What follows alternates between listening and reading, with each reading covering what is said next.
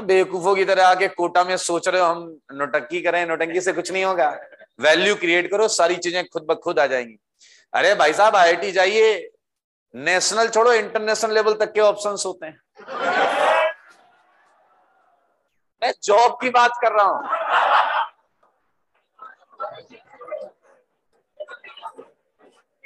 सच्ची में जॉब बहुत बड़ा चांसेस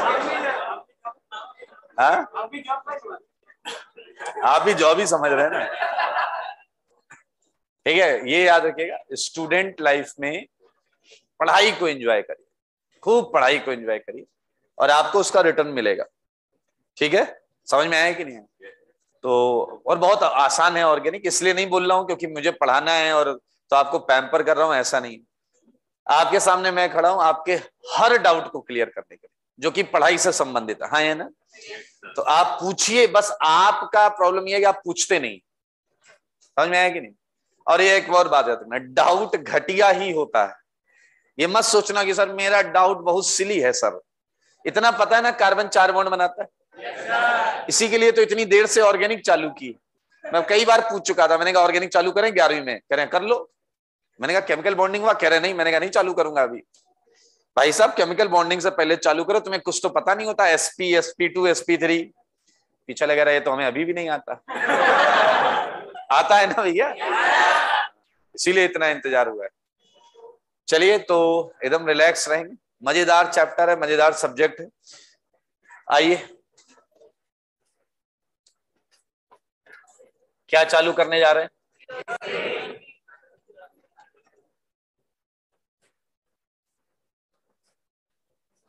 अच्छा एक स्टूडेंट पॉइंट ऑफ़ व्यू से आप लोग इस चैप्टर को कैसा मानते हैं? इजी एवरेज टफ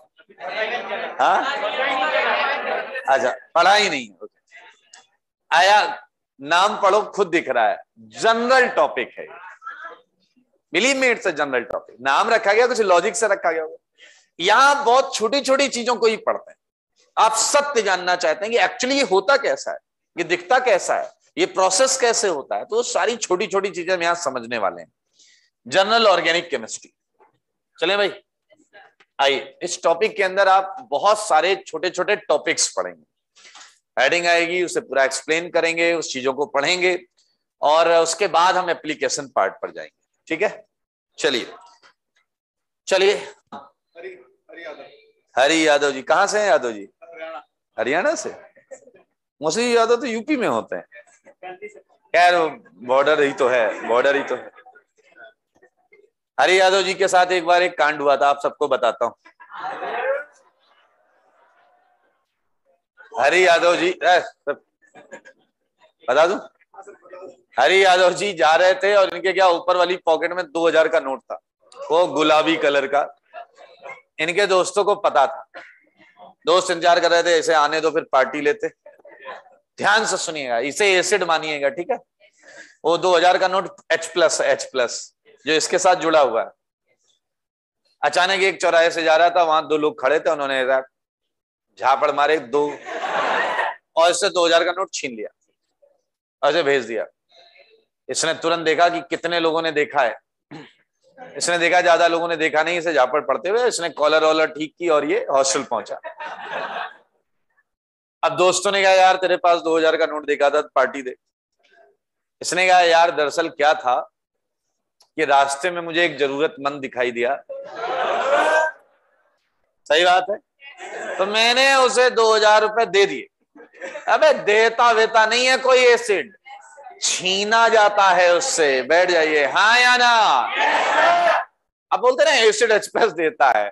अरे, उसे किसी ने एच प्लस ज़बरदस्ती छीना होता है। ये बॉन्ड तभी टूटती है।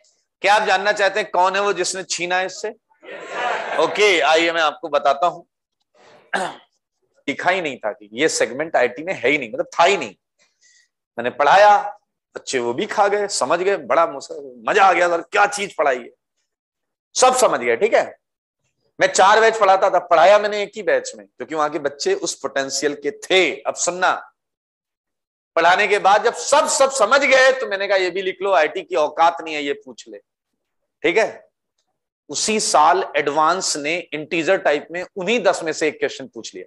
उसी साल, उन्हीं बच्चों के सामने। क्वेश्चन देखा, अब मैंने कहा, यार, ये कोई गधा ऐसा ना भूल भाल गया हो, क्योंकि पढ़ा तो होगा नहीं जब लिख लिया not in I ji. IIT में आया कैंफर था, कपूर जानते कपूर आप लोग? उसका मॉलिकुलर फॉर्मूला आया सेम कैटेगरी क्वेश्चन मैंने दस में करवाया था। उसका टिक सबका सही था वो। उस बैच के सारे बच्चों का सही था। बाकी बैच मैंने नहीं कराया था। वो वहाँ नॉर्मल चीज़ नहीं खा पा रहे थे, वो खिलाता तो और फैल जाते।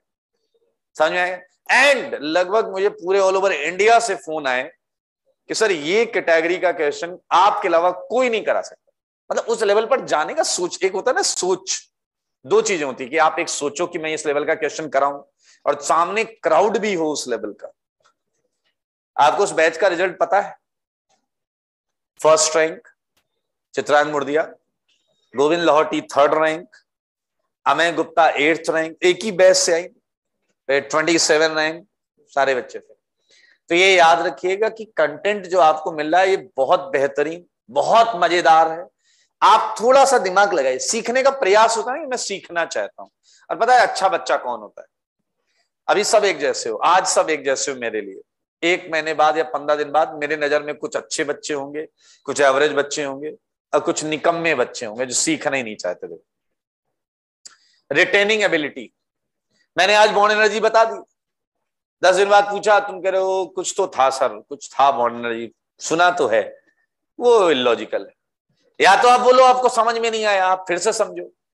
और अगर आपने बोला, मेरे को आ गया समझ में, अरे फिर तो यार आना ही चाहिए ना। अरे सही बात है या नहीं? बाहुबली पिक्चर देखी थी आप लोगों ने? एक एक चीज़ याद होगा। हाँ या ना? हाथ नहीं काटते हैं सर। हाँ या ना? सब डायलॉग याद होंगे। इंटरेस्ट लेके देखते हैं ना। मन लगा के देखते हैं।